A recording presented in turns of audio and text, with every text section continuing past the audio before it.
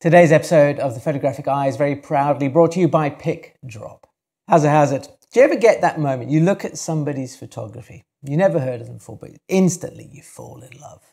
Right? That was what happened when I checked out the work of Maria Švarbová. I do hope I'm pronouncing that correctly. And her images called Swimming Pool. There we go. This is a fantastic book. There's a quote in the beginning of this book, which I think absolutely sums up what I love about her work. She says here, the architecture of the past stirs emotions within me. It is a feeling that is not easy to define, but I can feel its urgent pull on me. It is the nostalgia, trickled with hints of melancholy, that I love and wish to encapsulate in my photography.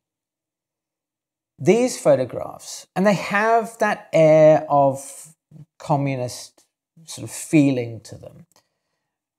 But Maria said that for her, because of her age, she's, she's fairly young, that the, the communist idea wasn't really a, a thing. It was more kind of like she's reacting to the space. And there's when she talks about her approach to these photographs, he said originally the idea was to go to the swimming pool to photograph portraits, and, and the swimming pool would be the backdrop.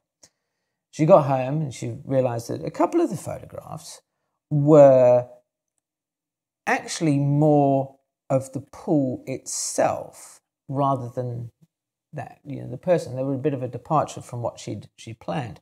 And i think that's a fantastic th- a lesson that all of us as photographers irrespective of whether or not we're a hasselblad master which which maria is you need to listen to the environment be in tune with with what the the place that you're photographing is is is the signals that it's sending out to you. I think I've talked about this in the past, these kind of signals that are there. You know, when, when these great photographs are like hiding away from you. And I'll link to this that video at the end of this in case you haven't seen it. That, you know, Maria talks about this melancholy. That, for me, I, I find that an easy leap to make because I have, by my own nature, quite a melancholy approach. I, I am, as, as people who know me in, in real life will tell you, I am, I'm like the post child for nostalgia.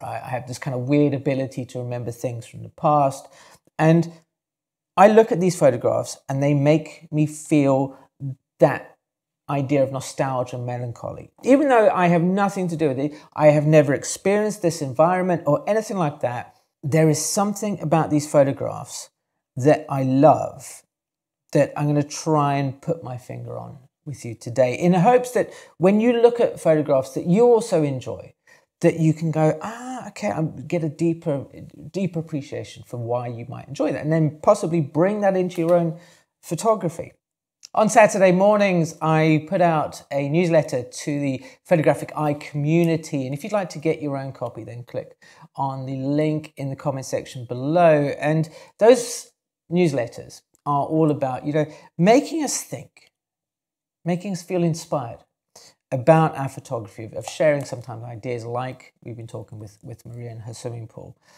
of going a little bit deeper into the, the art of photography and getting, I think, a, a, a better understanding and appreciation of, of the things that really set our photographs apart. I'd love to be able to include you on the next mailing. So if you are interested, yeah, click on the link in the comment section below. These photographs, they've got that Eastern European kind of very odd sort of vibe to them.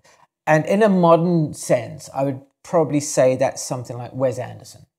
So a movie like The Grand Budapest Hotel that has that kind of eastern fringes of, of Europe getting into sort of Asia sort of approach to it. That, that's what I get from this. It, I, I think that sort of comes because I used to read a lot of Tintin or Tintin when I was younger.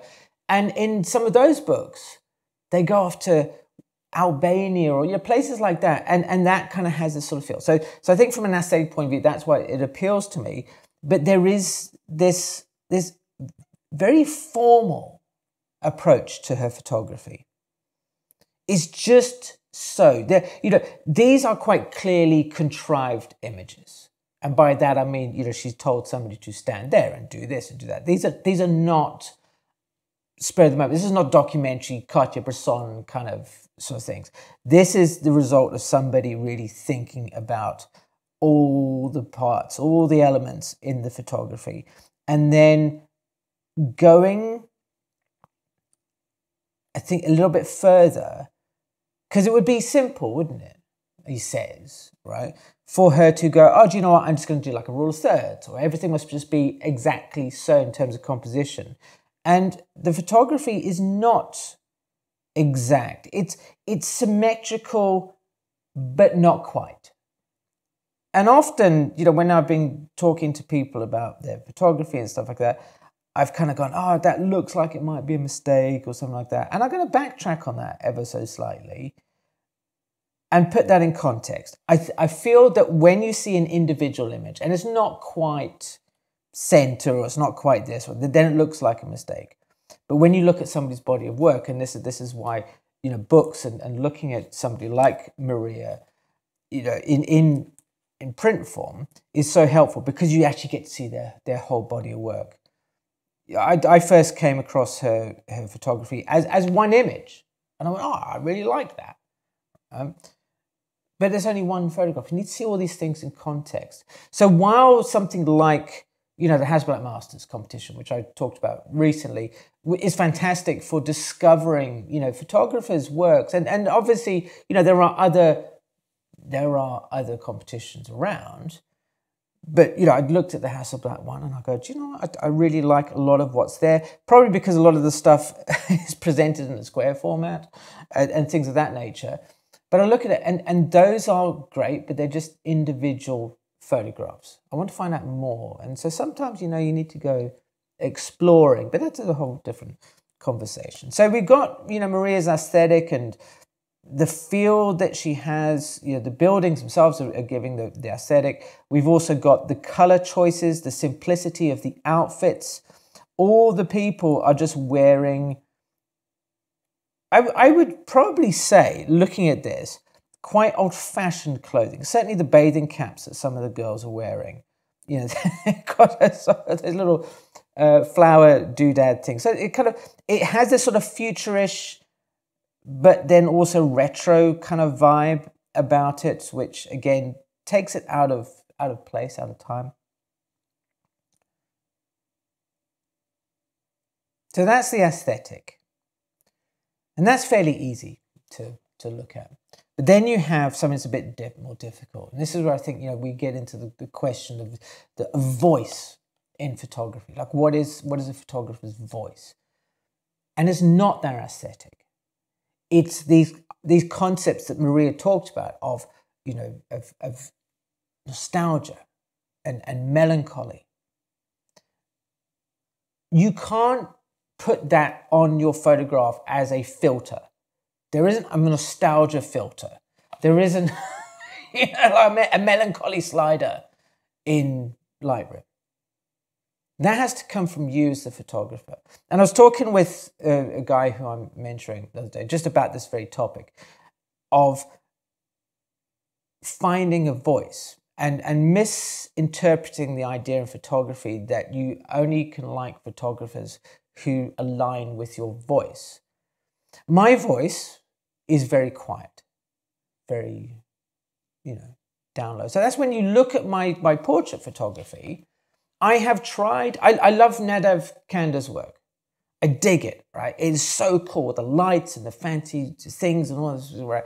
That I find, I, I can look at it all day long. I find it intriguing, amazing. When I've tried to photograph like that, thinking, oh, that's my voice because I like that work, it felt like it was a I was it was not right. It wasn't me. It didn't flow naturally. Everything was difficult. Everything you know, was was troublesome. Just as much as if I were to try and take photographs like Maria's, I would probably find it very. I love them, and I would really love to wish to be able to take photographs like this, but they wouldn't be me because that's not my approach. But when you look at you know my what is my approach, my street scenes of the pictures of buildings and stuff, they're devoid of people. They're quite hard. They're quite standoffish. The same maybe with my portrait photography. Then I feel more comfortable when it's in an environment that is set up to be a little bit more classical in terms of, of its approach, of, of simple things, not great big expressions from photography, like, oh, you know, these sort of things, right? It's more just connect with the person, give me character, give me personality.